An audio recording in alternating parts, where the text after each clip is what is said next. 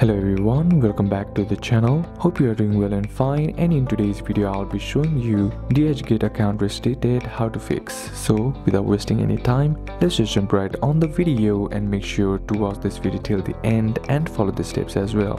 If your DHgate account has been restricted, it typically indicates a violation of the platform policies such as suspicious activity, multiple account creation for promotions or payment issues. In order to fix it, what you can do is simply head over to your your browser, then on the search bar type in DHgate Help Center. Then simply tap on the first link that is shown to you. Then what you need to do is reach out to the DHgate customer service, then provide your account details and inquire about the specific reason for the restriction. If prompted, submit the necessary identification documents to confirm your identity and ownership of the account. Then refrain from setting up new accounts using the same payment methods or shipping addresses as this can lead to further restrictions. Then some users have found success by contacting DHgate through their official social media channels as well, such as Facebook Messenger. So these are a couple of steps that you can apply and that's it for today's video guys. Hope this video was useful to you. Leave a like if it did. Comment down any questions that you have and see you soon on the next one.